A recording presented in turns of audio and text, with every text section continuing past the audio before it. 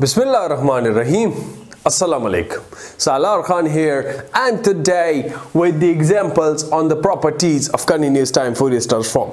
Very simpler, very easier, but you know, just to compile the things up.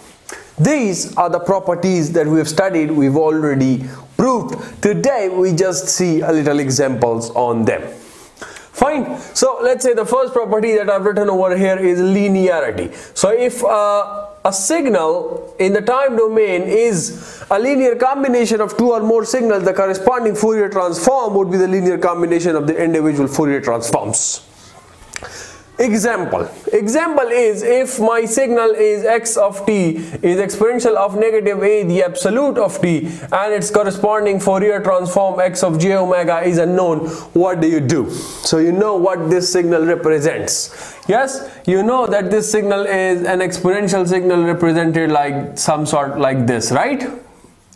So what could I do? Can I not break it into two parts? I can, which means that I can write that my x of t is exponential of negative at u of t, which is the right hand side portion plus exponential of positive at u of minus t which is the left hand side portion. So i have represented my given signal x of t as a linear combination of two signals. Now what would be the corresponding fourier transform? So the corresponding fourier transform x of j omega this would be what? It would be the linear combination of these two fourier transforms. We know the fourier transform for this is a 1 over a plus j omega. We know the fourier transform for this is a 1 over a minus j omega so this would be like this. So so which means you can further uh, do what? You can do an a minus j omega plus a plus j omega. So j omega would cancel out. You would have a 2a upon a squared uh, plus omega squared. And isn't it like this it is. The graph is given in the book. You can see it yourself. Or you can also prove it uh, you know by the by the Fourier transform formula. You would get the very same thing. That's it for the first one. The second property is the time shifting property. I've written over there the time shift property. Time shift. So I'm doing it like this to make it a little colorful. X of t minus t naught, you shift it by some amount, you get something multiplied. The complex exponential signal is multiplied. How is this? The original signal, let's say delta of t, we know the Fourier transform for this is 1. Now what do I have if I have a signal that is shifted t minus 1. So what would be the Fourier transform? So which means minus 1. So over here you would have to multiply it by a minus 1. So this would come out to be plus. So this would have an exponential of j omega naught. And the previous is 1. So this would be 1. And this is the new Fourier transform. No, this would be a minus. Over here, if you have a minus, over here you would have a minus as well. Right? Because this basically is a plus T naught, right? T naught was positive, so you had it a minus, so you gave it a minus over there. Yes, don't confuse it. If you have if you have a delta of t plus 1, t plus 1 so in this case now this t naught is negative resulting in a plus over here. So which means now the corresponding Fourier transform would be an exponential of so uh, so that would is a minus. So minus and minus this minus would cancel each other so you would have a plus.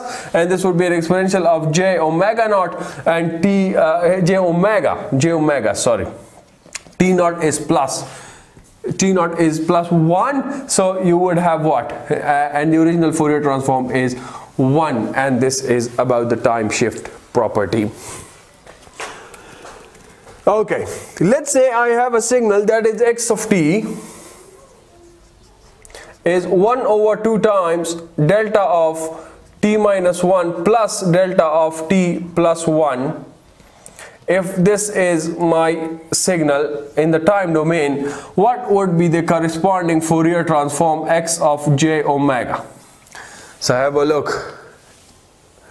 The time shift property, the linearity property, both are getting involved.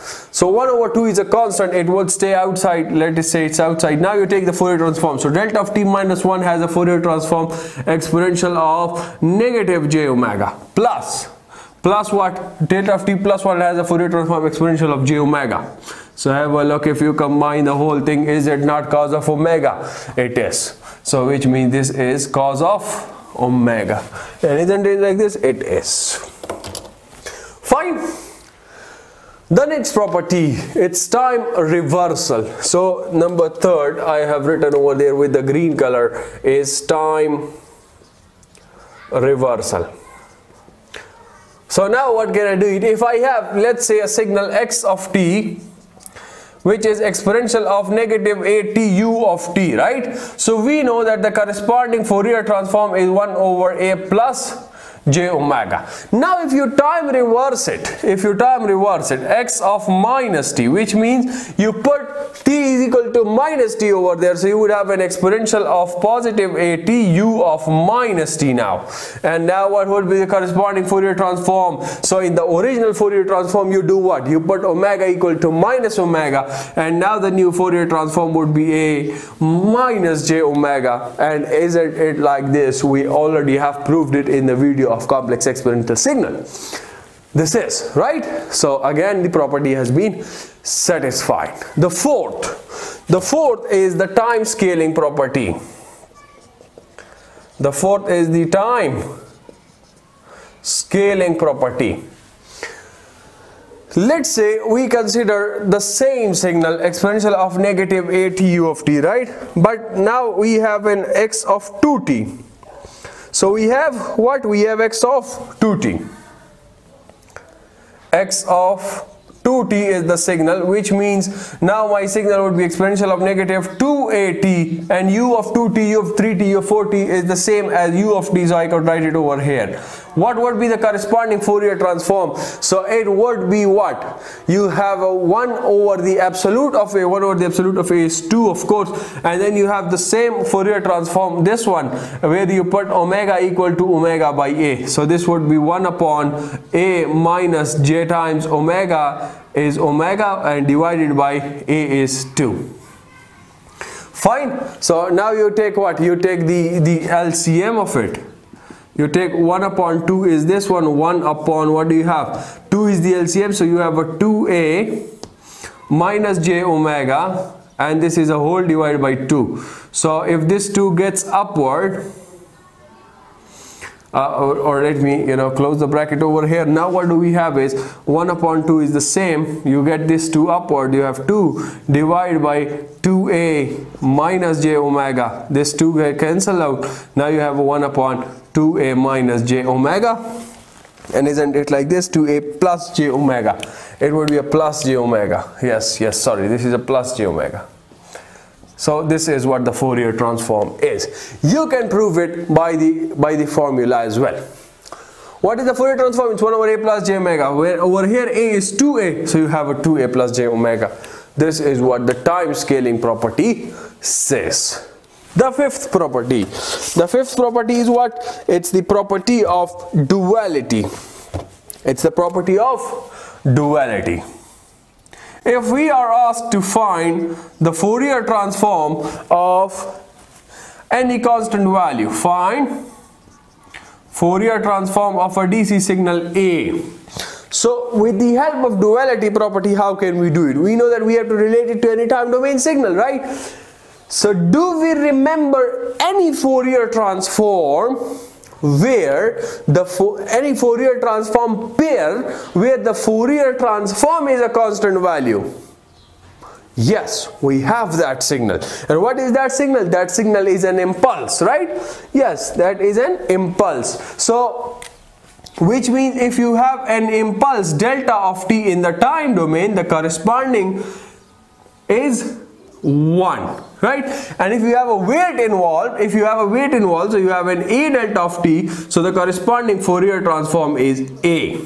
Isn't it like this? So which means now we are asked to find the Fourier transform of a. So if you put it in the time domain over there what do you have to do? You have to multiply it with a 2 pi. The duality property implies what? Now if you have this a in the time domain so the duality property implies if a is in the time domain the corresponding Fourier transform is 2 pi multiplied to the this signal. Now this would go to the frequency domain delta of and you would have to free, uh, reverse it as well which means delta of negative omega. And this is what it is 2 pi delta of negative omega. Which means now you know uh, delta of omega means what? It is an impulse located at t omega equal to 0 right? And again if you have delta of negative omega so this again means the same thing. So this means this is an even signal. So which means if your time reverse it still it would be the same. So even signal implies what? That a has the corresponding Fourier transform equal to 2 pi and delta of omega and this we already have proved you can see the graphical interpretation yourself. The next is let's say x of t is exponential of jt x of t is exponential of jt now we are asked to find the Fourier transform for this signal. So remember uh, we, we want it in the frequency domain representation. So do we remember any Fourier transform pair where we have the Fourier transform as this signal? We want to the, apply the duality property right? So yes we've just proved the exponential of jt where have we proved? I think we saw it over here somewhere. Yes. So in the uh, in the frequency domain it has to be j omega of course right? So this is the signal j omega. So which means the corresponding is this one jt so what do i have is so what would be now the corresponding signal? This would be this signal in the frequency domain for this one. But with what modification? The modification would be like this. You have to multiply a 2 pi to it. You have to multiply 2 pi to it. And you have to reverse the, uh, in place of t you put omega but a minus omega. So you have a minus omega plus 1 isn't it like this? It is. So which means what? Now if you take this common which is a 2 pi now you have a delta of uh, wait wait wait. Delta of and you take a negative common you have an omega minus 1 now uh, have a look. Uh, isn't this uh, is this an even signal or what Yes, delta is an even signal, of course. The impulse is an even signal, so the negative would not have any effect. So, which implies what? That we have got that if you have an exponential of jt in the time domain, so in the frequency domain, you would have a signal that is 2 pi delta of omega minus 1 and this is our answer through the duality property. The duality property we've already seen in the previous video in the example with the sinc function. I may touch it over here. I will give it a touch the next signal is let's say exponential of negative uh, negative jt if my time domain signal x of t is negative jt so now have a look. Do we remember any signal? Do we know any signal? Whose Fourier transform? Do we know any Fourier transform pair? Where the Fourier transform is exponential of negative j omega? We've just seen exponential of negative j omega. So we apply it over here. Now what do we have? As if we had a signal delta of t minus 1, let me go a little stepwise to finish the confusion. As delta of t minus 1 is a signal having Fourier transform exponential of negative j omega. So, now if we have this sort of a signal in the time domain, the duality property implies if you have now j of t, exponential negative jt in the time domain, so the corresponding Fourier frequency domain signal would be what? You would have um, uh, you would have first of all a 2 pi multiplied to this time domain signal that is delta but you would have to take a negative of omega negative of omega minus 1 fine? Now if i take the negative common negative so we have an omega plus 1 and and this is what it is. Again you, this impulse is an even signal so which means that I have got my exponential of negative jt the corresponding Fourier transform is 2 pi delta of omega plus 1 and that is the answer if you haven't understood the two because uh, the first two because I skipped this first step. So this is mandatory. Uh, the third example is where you would have understood it in a very very effective manner. So let's say I do what? I remove the board now first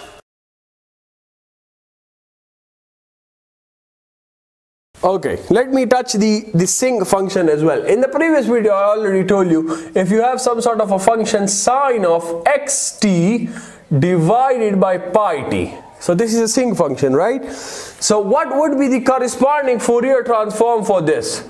So the corresponding Fourier transform for this would be a rectangular sort of a pulse. This would now be by x of omega and this sort of a function and where this would be negative x depending on this value of x. This would be positive x this is with respect to omega. The weight or the the the, the amplitude would be 1 fine? Yes. Now if you have you you reverse it you reverse it so what do you have? Actually you have to multiply 2 pi over there. So if you have a time domain signal like this a time domain x of t if this is starting at an at a negative x and finishing at an x so the corresponding would be what? This would be a 2 pi multiplied to sine of xt upon pi t. And if you don't want to have the if you want to have only this thing in the frequency domain if so this is 1 so if you want it to be 1 over here so you you have to divide it by a 2 pi over here. And that is what I wanted to say. But have a look I have a mistake. And what's the mistake? This is not t over here now. This is your omega and this thing basically represents your sinc function sinc function. Fine. So this is about the fifth property and now I remove this space as well. Okay. The next is with the blue color it's the frequency shift property. This is the frequency shift property now again you know uh, we know we know very well. Uh, this is my one two three four five sixth property is the frequency shift.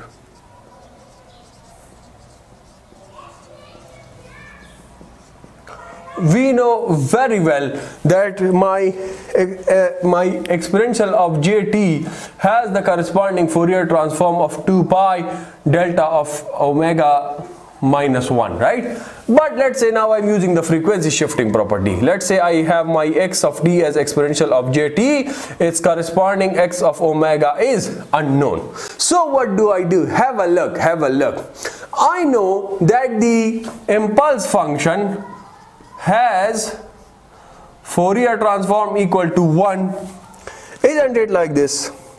Or or I can write that if 1 we have in the time domain so in the frequency domain we would have a 2 pi delta of minus omega and delta of minus omega or, or delta of omega is the same thing because of the even nature. So can I write my this signal exponential of jt into 1 exponential of jt into 1 so which means have a look the corresponding Fourier transform would be what? 1 is my signal x of t over here I have x of omega minus omega naught if something is multiplied with omega naught. So omega naught is 1 over here. Let me use a color so we don't confuse it. Omega naught is 1 right? In this particular thing. So what do I have? I would have to shift my this particular thing by 1 unit. So which means that my Fourier transform would be 2 pi delta of omega minus 1 and isn't it like this? It is let me write it over here. Omega naught is equal to 1 this was multiplied by the complex exponential signal so it has to be shifted in the frequency domain by the units omega naught. Now let me tell you over here omega naught omega naught it does not represent the the fundamental frequency okay? Omega naught does not represent the fundamental frequency. Rather it's what? It's only the shifting the, the shifting uh, amount the amount by which the signal is being shifted. Is that clear till here? So uh, you know now some people tell me that the longer videos are not good. So i believe this would be a 20 25 minutes video. So i say that we continue this with in the in the next video. Why? Because we've already got six till here. So one two three four five six remains. So the next six we do in the next video. Okay so i finished this over here so that we don't get bored. Till the next video take care of yourselves and everyone around you. Do remember me in your prayers. Do subscribe to the channel. Goodbye